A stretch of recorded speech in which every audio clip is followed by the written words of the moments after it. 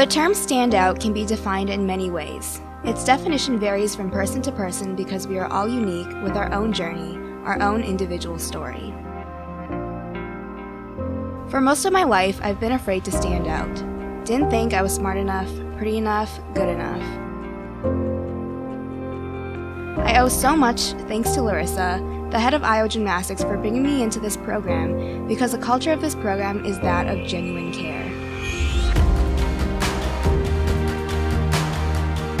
Our coaches and staff invest in us as people, far before us as athletes.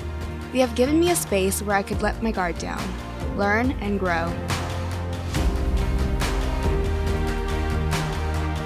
I tore my Achilles last January, just as the 2018 season began. Knowing immediately that I was out for the year was difficult.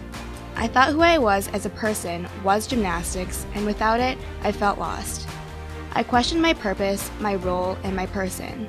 But what I learned with my team's unfaltering support was that I am enough.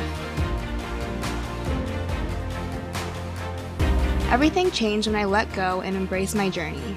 My journey back onto the floor but more importantly, my journey in finding who I am and who I wanted to become. Not every day is going to be perfect. There will be ups and downs, but I'm more confident in my gymnastics and my comeback because I'm more confident in myself.